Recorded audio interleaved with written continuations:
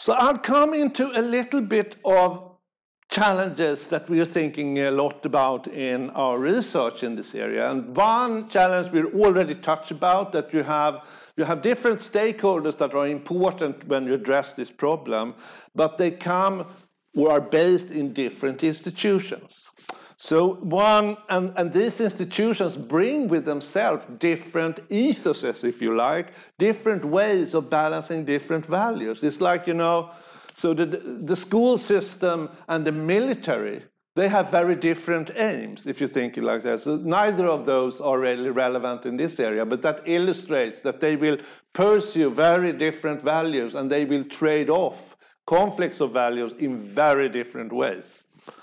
Uh, so one thing is then that you have, on the one hand, the classic role, the clinical ethics of an ordinary doctor that thinks about his or her patients, the individuals, and their health. Uh, and then you have the more overarching public health structure, especially if you expand it to a global perspective, where you're not really thinking about any particular patient anymore. You're thinking about populations and health patterns in populations and how you would like to improve them or to prevent that you have uh, worse developments in the future. And so the doctor has this focus on that people come to a doctor with a problem and the doctor is supposed to fix the problem. This is like when you have a, you know, something's broken and you call up the plumber or the electrician or something like that. It's a kind of a reparation perspective that you work with. The public health and the global public health perspective works with this primary prevention perspective. Rather than sort of fixing the pipe when it's broken, you want to make a system where no pipes break, or as few pipes break as possible. And there's a huge conflict here. And I think the examples we had about infectious disease illustrates this, right? So it might actually be that in order to contain the infection, you harm the individual patient or in order to map the spread of resistant bacteria and genes in the hospital, you induce people not to visit you when they have a health problem because they are afraid of the consequences if they are ranked as high risk.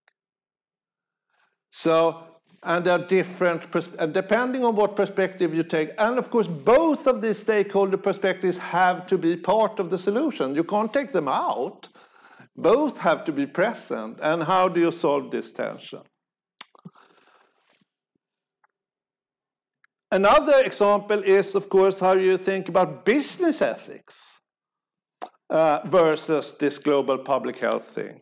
And that's relevant when you look at the stakeholders in the pharma industry, of course, but also in the farming. So farming is mostly a commercial activity uh, that goes on with the profit motive. So if you come from a business perspective, it's not really public health that is the aim that you aiming for. You're aiming for making money, and so the price and the costs and the market shares and so on is in focus. And if you're an executive in a business, if you're a CEO, for instance, in, in a public company, you're obligated by law to do what's best for the shareholders. You can't really choose to do anything else. So you're governed by what the board told you is the target this year or the next five years or something. And usually it will have to do with money and not public health. So this, for example, so if the board decides that, well, hey, this about you know getting new antibiotics is not doesn't really seem to make so much money, let's make skin cream instead. This is what you were obligated to do. Uh, and and the whole institution of business rests on this obligation. So how should you think about that if you're in a situation where if all the companies start to make skin creams to make money in the short run, at the end of the day in the long run, there will be no healthcare system worth selling drugs to anymore. So for instance. And then you have, of course, different kind of institutional ethical communities. So we already seen a little bit about this. So for example, the clinical perspective and the research perspective are already mentioned.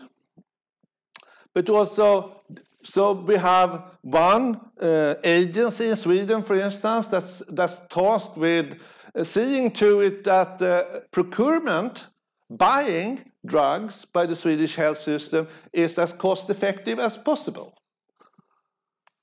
And this, but this, as we have seen in other parts of this course, this system at the same time means that they're letting drug producers are not handling the environmental problem, for instance, off the hook. And they are even rewarded in this system because they can offer cheaper products because of this that are, from a healthcare perspective, just as good as the other drug, but from an environmental perspective, they're worse.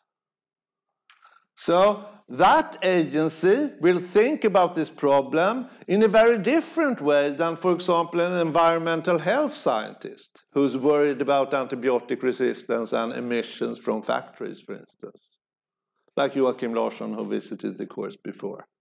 So the, the stakeholder perspective means that you're thinking about the problem and the stakes in a very, very different ways. Another thing is we live now in a globalized world, but at the, and we really like to travel and, and so on and so forth. But at the same time, when we travel, with us travel the multi-resistant germs and the genes that can transfer to other germs and so on. We are very concretely contributing to the problem. And this can be seen also in other areas. If I go, for example, from Sweden, and I go on a holiday to uh, another country where everything is much cheaper and it's very exotic and so on, very likely is that several things that I could carry with me, which is trivial for me, because I can enjoy the Swedish healthcare system, will be a life-threatening thing for people who live there. Just an ordinary mild influenza and that can have to do with the socioeconomic factors, but also, for example, in variations in what different populations are accustomed to in that way. So you have a tension here between the, we want an open and globalized world, but the same open and globalized world also contribute to the transmission of resistant infection and resistant bacteria and resistant genes between bacteria.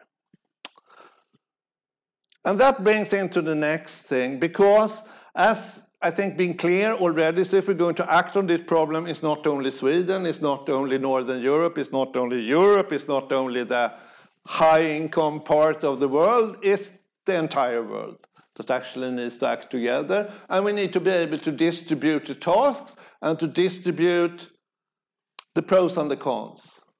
Uh, what you get by solving the problem, but also the burdens you need to take on in order to solve the problem. And this creates collective action problems. We already see them uh, on a high level in, for example, climate policy. And you have similar problems here.